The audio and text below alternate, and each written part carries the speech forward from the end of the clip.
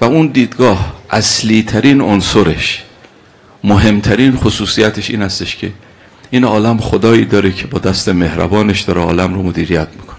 همین یه جمله است. همین رو اگر کسی باور بکنه که دست خداوند متعال پشت صحنه هستش و هیچ چیزی تو این عالم از حکومت خدا خارج نیست. این رو اگه آدم بتونه وارد قلبش بکنه فقط اطلاعات ذهنی نباشه جز به باورهای عمیق قلبیش باشه همه کارهاش تو همه زندگی درسته. دیگه سختی و سادگی و اینجور چیزا دیگه براش فرقی نمیکن خداوند متعال رزق رو به هر شکلش برای ما میفرسته. علم رو هدایت رو شفا رو قدرت رو. همه کمالاتی که انسان ها نیاز دارن پروردگار عالم تو این عالم پایین میفرسته. منتها خدا رزقش رو از پشت هجاب ها میفرسته. یعنی به واسطه اسباب. با اسباب خدا رزق رو میده با اسباب علم رو میده با اسباب شفا رو میده. چرا حالا با اسباب میرسونه؟ مستقیم نمیده. خود این حکمتی داره که برای چی خداوند متعال از پشت پرده ها شما مثلا فرض کنید می‌خواید شفا بگیرید حتما باید از طریق مثلا حالا حتما که دارم عرض می‌کنم به طور عادی و متعارفش. از طریق دوا و دکتر و درمانگاه و امثال این هاست مستقیم خداوند متعال بناش بر این نیست که شفا رو برای کسی ایجاد بکنه. علم اگر کسی می‌خواد بگیره باید از طریق دفتر و کتاب و استاد و مدرسه و قلم و از طریق این اسباب باشه. خدا که عاجز نیست می‌تونست مستقیم این علم رو تو سینه کسی بریزه. اما این کار رو نکرده. از طریق, از طریق این هجاب ها و واسطه ها علم رو داده. روزی رو اگر بخواد بده همینه. پدر مادر کشاورز دامدار صاحبکار. به هر حال یه واسطه هایی هستن که روزی رو برای آدم به وجود میارن. حالا اینکه چرا خداوند متعال این کارو کرده؟ به خاطر این بوده که انسان ها امتحان بشن تا که کسی از پشت این هجاب ها و اسباب دست خدا رو بتونه ببینه. آیا برای اینه؟ آیا برای این بوده که عزتمند باشه که انسان ها وقتی از پشت هجاب ها می‌گیرن معلوم نمیشه دهنده کی هستش. گاهی موقع به خاطر اینه ائمه یا سائلی شنیدید یه فقیری می‌رفته در خونهشون گاهی موقع در رو کامل باز نمی‌کردن که چشمشون تو چشم اون فرد بیفته. از پشت در بهش می‌دادن. برای اینکه خجالت نکشه آیا به این دلیل از پشت هجاب ها خدا میده؟ به چه دلیل؟ هست حالا بماند. هرچی که هست به هر حال بنای خدا اینه که از طریق اسباب بده. منتها نگاه انسان های شرکالود این هستش که گاهی موقع تو همین اسباب گیر می‌کنن. اسباب رو رزاق می‌دونن. معلم و استاد و امثال اینها رو رزق دهنده علم می‌دونن. دکتر و دوا رو شفا دهنده می‌دونن. همونی که با یه دید کودکی وقتی از پدر نان رو می‌گیره بابا آبداد و بابا نانداد و بابا هستش که رزاق آدم میشه. یه بزرگواری بود. ایشون در قوم بگفتش که من بچه که بودم خیلی شیطون بودم. بگفت گاهی موقع از بابام یه چیزی می‌خواستم. بابام برای اینکه من لوس نشم که همه چی رو مثلا بتونم با دعوا مرافع ازش بگیرم به من میگفتش که علی برو تو مطبخ. حالا اون موقع که آشپزخونه رو می‌گفتن من میگو برو تو مطبخ ببین موشها برات چیزی آوردن. خودش از قبل مثلا توی نلبکی احیانا مغز گردوی یا برگه هلوی برگه زردالوی یه مقدار چیزای خوراکی میریخت تو نلبکی. منتها میگو برو ببین موشا برات آوردن. یعنی مستقیم نمی‌داد که از این به بعد هر چی رو بخوام با دعوا بتونم ازش بگیرم. میگو من می‌رفتم میدم هست. میگو هر دفعه این شکلی می‌گفت. من تا 6 7 سالگی از موشها خوشم میومد چون موشها رو رزاق خودم می‌دونستم که اینا برا من میارن. حالا این تو 6 7 سالگیش بود بعضیا تا 80 سالگیشون موشها و واسطه ها رو رزاق می‌دونن. اون واسطه ها رو رزاق می‌دونن. خداوند متعال برای اینکه کریمه برای اینکه بزرگوار هست برای اینکه می‌خواد بنده هاش از دید شرکالو در بیان گاهی موقع ها از یک طریقی یک تربیتی رو ایجاد می‌کنه که بنده هاش بدونن. پشت این اسباب یه چیز دیگه هم هست. گاهی موقع ها خدا این اسباب رو از کار میندازه. این اسباب رو از کار میندازه. یعنی شما به طور ظاهری یه مرتبه می‌بینی که اسباب دیگه نمی‌تونن به بنبست خوردن. فرض کنید به عنوان مثال یه کسی احتیاج مالی پیدا می‌کنه هیچ راهی برای اینکه تأمین بکنه خودش رو. بچهش مریض رو دستشه احتیاج به جراحی داره نه پول پسندازی داره نه حقوقش کفاف میده نه کسی هست که بهش قرض بده. یعنی تمام راه ها برای تأمین این نیاز تمام راه ها بسته میشه. راه های حلال رو خدا میبنده. گاهی موقع ها این شکلیه. خیلی هم عجیبه. راه های حلال بسته میشه. نیاز آدم شدیده. بچهش رو دستشه دیگه. در این حال که راه حرام بازه. می‌تونه این تو اداره یه رشوهی بگیره. بار خودشو فرض کنید ببنده. می‌تونه بره نزول بکنه. به صورت ربوی بتونه پول قرض بگیره از کسی. اما خدا میگه حق نداری اون رو بری. خب خدای راه حلال که بسته است حرام رو هم که حق ندارم برم چیکار بکنم؟ این بچه رو دستم هست احتیاج دارم. یا گاهی موقع فرض کنید جوان هستش نیاز جنسی شوخی بردار نیست یا واقعیتی است. نیاز جنسی داره ازدواج براش فراهم نمیشه. به هر دلیلی ازدواج فراهم نیست. نیاز داره ازدواج فراهم نیست. راه حرام هست. می‌تونه از راه های حرام بره خودش تامین کنه. اما خدا که اجازه نداده میگه اجازه نداری اون ممنوعه بری. خب خدای اجازه ندارم برم. راه حلالم که بسته است. از چه سببی بتونم نیاز خودم رو تامین کنم؟ اسباب همه بسته است. خدا گاهی موقع ها آدم ها رو تو بنبست قرار میده تو مخمسه قرار میده. تمام کمین شیطان برای همچین وقتایی است. تمام کمین البته من این عرض بکنم برادر بزرگوار خواهر بزرگوار. این جور امتحان های خدا برای هر کسی تو عمرش یکی دو بار بیشتر پیش نمیاد. امتحان های سنگین خدا یکی دو بار تو عمر هر کسی بیشتر پیش نمیاد. خدا هر روز آدم ها رو امتحان می‌کنه اما امتحان های سنگین هر روز نیست. من از خود شما سوال می‌کنم. خدا حضرت یوسف رو هر روز امتحان می‌کنه اما اون امتحان خونه زلیخا چند بار براش پیش اومد؟ یک بار. خدا هر روز ابراهیم رو امتحان می‌کنه اما اون امتحان که برو سر بچه تو ببر چند بار پیش اومد؟ یک بار. امتحان های سنگین همیشه نیست. یکی دو بار تو عمر آدما بیشتر نیست. کربلا چند بار پیش اومد؟ یک بار. تمام کمین شیطان برای همین یک باره. چون می‌دونه کم کسی هست که تو این مخمسه ها بندگی بکنه. یه مقدار تکونشون بده از راه خارج میشن. و تمام برد اولیاء خدا اون کسانی که به جاهای رسیدن و خدا خریدارشون شد تو این بنبست ها و امتحان ها بندگی از خودشون نشون دادن. تو اینجا که همه راه بسته است. راه حلال بسته است راه حرام خدا ممنوع کرده. نیاز آدم هم شدید. خدا رحمت کنه مرحوم آیا شیخ رجب علی خیاط رو شما حالا بزرگوارا دیگه همتون اسم ایشون رو شنیدید. مرحوم آیا شیخ رجب علی نکوگویان. ایشون که خب آدم با عظمتی بود. من با بعضی از شاگردان ایشون برخورد داشتم. واقعا چیزهای نابی از ایشون نقل می‌کردن. ایشون میگفتش که هر چی خدا به من داد که چشم بازی به عالم آخرت هم داشت.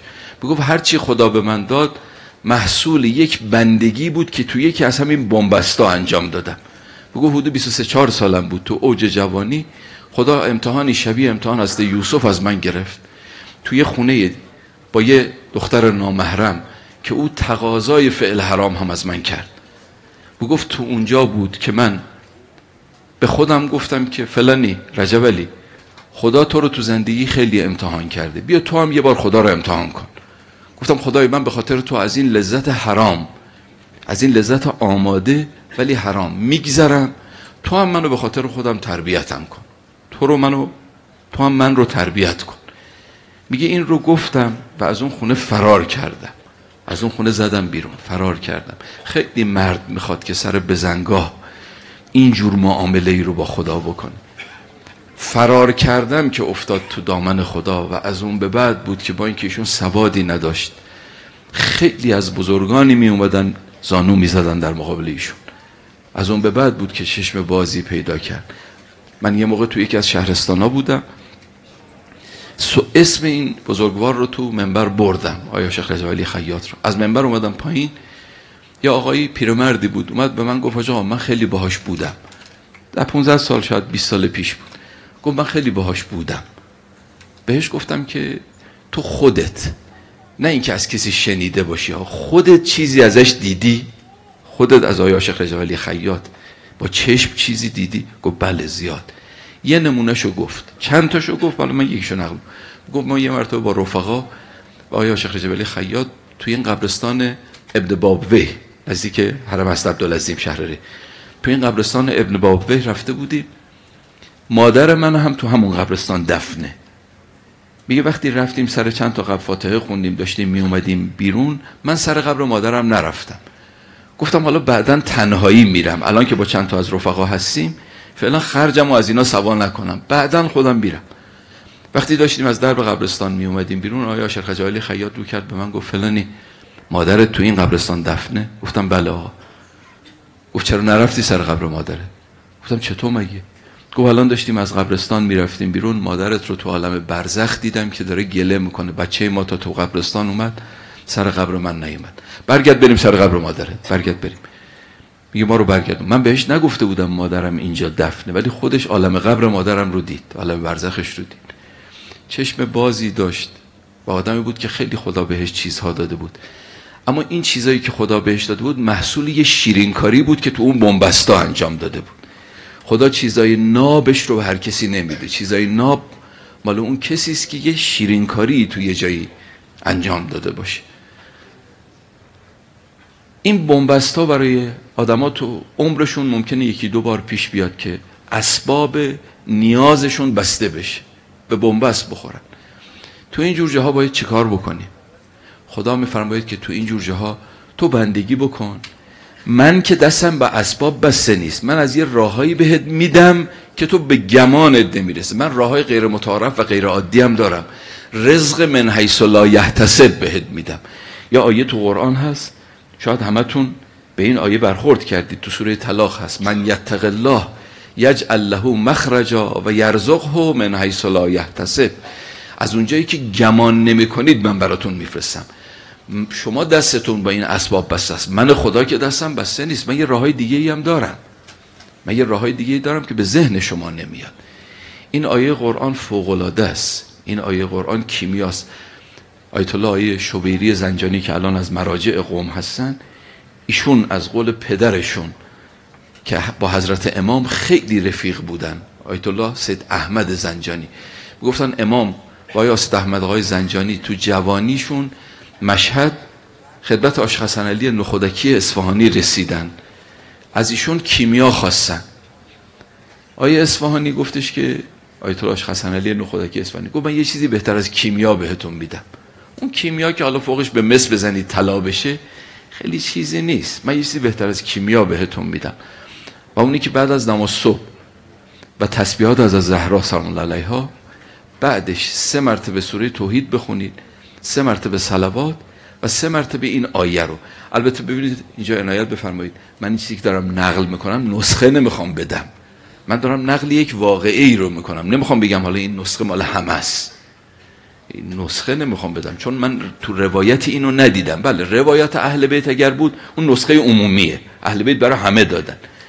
ولی آیت الله حسن علی نخودکی اسفانی برای این دو بزرگوار یعنی حضرت امام و استاد آقای زنجانی این رو گفتن. فرمود سه مرتبه سوره توحید سه مرتبه صلوات و سه مرتبه این آیه من یتق الله یجعل له مخرجا و یرزقه من حیث لا یحتسب. کسی که با خدا معامله بکنه و بندگیش رو ترک نکنه خدا گره رو از زندگیش باز می‌کنه تو بنبستا و از اونجایی که به گمانش نمی‌رسه براش روزیش رو میفرسته. پیغمبر فرمود این آیه تو قرآن همین یک آیه رو اگر کسی بهش عمل بکنه بسش. این کلام مال پیغمبره. یک آیه تو قرآن هست که اگر کسی به همین یک آیه عمل کنه کفایتش بکنه. تو زندگی هیچ کم نمیار من تقاضا می‌کنم ازتون. ترجمه این آیه رو فقط ببینید. خدا میفرماید و من یتق الله. اگر کسی با خدا معامله کنه خط قرمزهای خدا رو زیر پا نگذاره تو بنبست ها تو مشکلات بندگیشو بکنه تویی که نیاز پیدا کردی بچت رو دستته کارگر کارمند حقوق ثابت داری. الان نیاز داری. راه های حلال برود بسته است. تو به سمت حرام نرو. تو ربا نگیر. تو رشوه نگیر. یجعل له مخرجا. من راه رو برات باز می‌کنم. و یرزق من حیث لا یحتسب. از اونجایی که به گمانت نمی‌رسه برات میفرستم. ممکنه کسی بگه خدا از کجا می‌خوای بفرستی؟ من نه پسنداز دارم نه کسی بهم قرض میده. نه حقوقم کفایت بکنه. از کجا می‌خوای بهم بدی؟ خدا میگه تو چی کار داری؟ من دارم وعده میدم که از اونجایی که گمان نمی کنی برات میفرستم. به گمانت نمی‌رسه برات میفرستم. خوش به حال اون کسی که وعده های خدا رو باور بکنه. جوانی که احیانا نیاز جنسی برای تو هست فشار بهت بیاره ازدواج برات فراهم نیست. خدا میفرماید که تو اعتماد به من کن تو بندگی کن از راه حرام خودتو تامین نکن. من از اونجایی که به گمانت نمی‌رسه برات روزی تو میفرستم. خدای از کجا میفرستی؟ ازدواج که برای من فراهم نیست. تو چیکار داری؟ ازدواج یکی از راه های تامین نیازه. ای چه بسا من لذتی تو دلت بندازم. شیرینی تو دلت بندازم که اصلا دیگه اون فشار جنسی اصلا اذیتت نکنه. اصلا اون دیگه اذیتت نکنه که بهت فشار بیاره. تو وقتی برات فراهم بشه ما راه های خدا رو نمی‌دونیم. متا متاسفانه معامله با خدا رو هم البته من جسارت به همه نمی‌کنم. معامله با خدا رو هم همه بلد نیستن. فقط اونایی بلدن که باور دارن. این ملک خدا داره. دست او پشت صحنه کار می‌کنه. اگه اسباب از کار افتاد او سبب رو میرسونه.